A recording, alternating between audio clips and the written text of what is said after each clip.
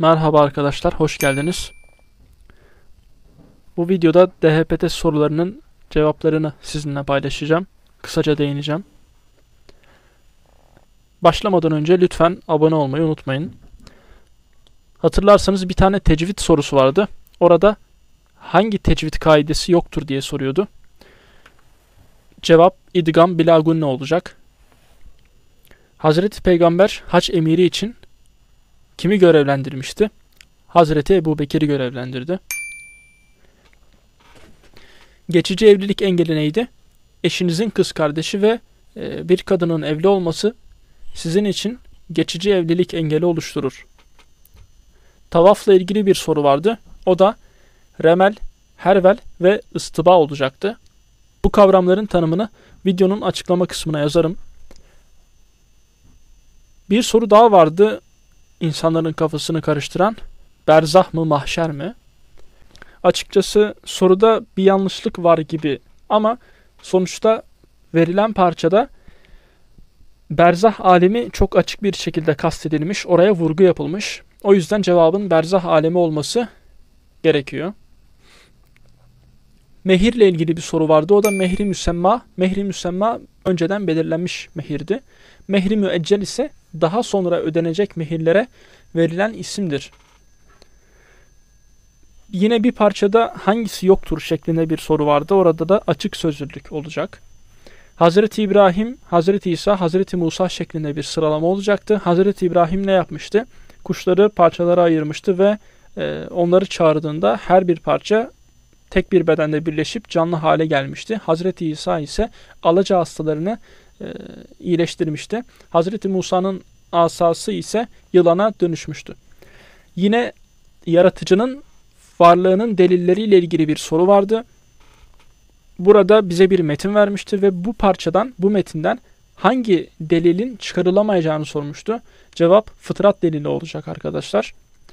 Şurta ve berit bu iki kavramın tanımı doğru verilmişti ancak nakibul eşraf yanlış verilmişti. Nakibul eşraf neydi? Seyit ve şeriflerle ilgilenen e, kurum. Hanefilerde cuma namazının şartları arasında mukim olmak ve vaktin girmesi var. Deizm düşüncesi sorulmuştu ve deizm düşüncesi hangisini kabul eder denilmişti. Peygamber vardı, e, yani nübüvvet yazıyordu, kitap vardı ve ahiret vardı.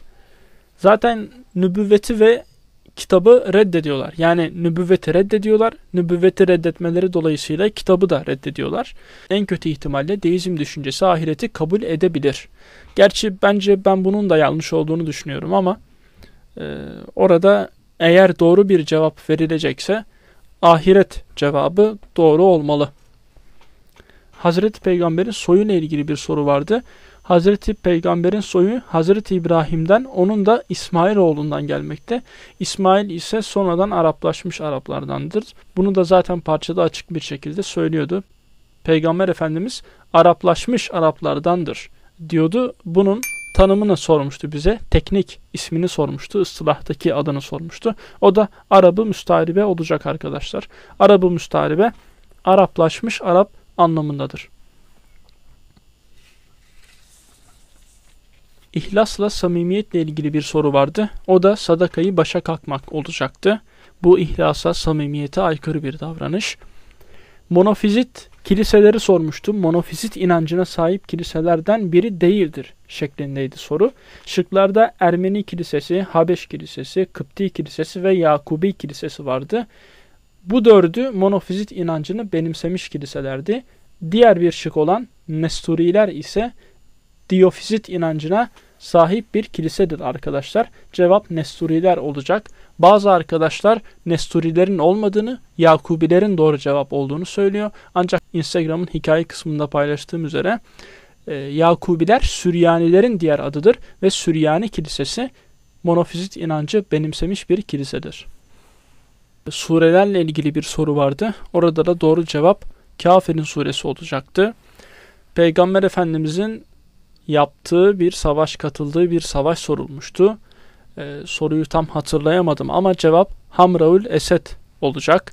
Yine tecessüsle ilgili bir insanın gizliliğini, özel hayatını araştırmamak şeklinde kullanılan tabir olan Kur'an'da da bu kavram kullanılıyor.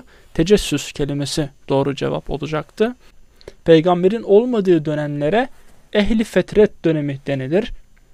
Cevabı kibir olan bir soru vardı. Soruyu tam hatırlayamadım. Gadir Hum ile ilgili bir soru vardı. Gadir Hum ne zaman yaşanmıştı? Veda haccı sonrasında yaşanmıştı ve Şiiler Gadir Hum gününü bayram olarak kutlamaktadırlar. Cehennem meleği Malik arkadaşlar onu sormuşlardı. Mutezile'ye göre haram olan bir şey rızık değildir. Yahudi olup sonradan Müslüman olan birini sormuşlardı ve çokça İsrail'i rivayet aktardığı bilgisi verilmişti soruda. O kişi de Kab el Ahbar olacaktı arkadaşlar. Vahiy ile ilgili bir yorum sorusu vardı hatırlarsanız. O da Enbiya suresi 73. ayet. Açıp bakarsanız cevabı hatırlarsınız. Fahrettin Razi ile ilgili bir soru vardı. O da münasebetül Kur'an olacak arkadaşlar. Dünyadan el ayak çekmek, ahiretin kalıcılığına vurgu yapan hadis babı hangisiydi? Zühd olacak arkadaşlar.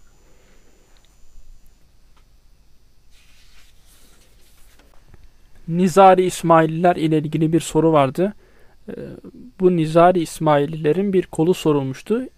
Masum imamın dışında bilgi edinmemek. Sadece masum imamın verdiği bilgiyle yetinen kol fırka hangisiydi? Talimiye olacaktı. Atomun bölünebilmesi ile ilgili olan soru cevheri fert olacak arkadaşlar. Müşebbihe ve selefiye sıfatları tevil etmezler. Kur'an'da geçtiği gibi kabul ederler. Ancak doğru cevap olan Maturiye ve Zeydiye sıfatları tevil etmektedir arkadaşlar. Allahu Teala Kur'an-ı Kerim'de kendi üzerine yemin etmiştir. Ancak Peygamber Efendimiz üzerine yemin etmemiştir. Akşam ezanı ve makamı eşleştirmesi yanlıştı arkadaşlar. Hadis kitabı sorulmuştu. Bu hadis kitabının üzerine Temhid adında bir şerhin yapıldı ve Medine ehlinin amelini çokça içinde barındırdığı söyleniyordu. Büyük ihtimalle bu da İmam Malik'in Muvatta adlı eseri olacaktı. Hudeybiye sorusu vardı. Hudeybiye sorusunda 3 tane şık verilmişti ve burada Müslümanların hangi şıklara karşı çıktığı sorulmuştu. 1. Hazreti Peygamber'in anlaşmada Resulullah olarak yazılmamasına karşı çıkmıştı Müslümanlar. Bir diğeri ise Medine'ye giden insanların, Medine'ye gidip Müslüman olan insanların tekrar Mekke'ye gönderilmesi şartına Müslümanlar karşı çıkmıştı.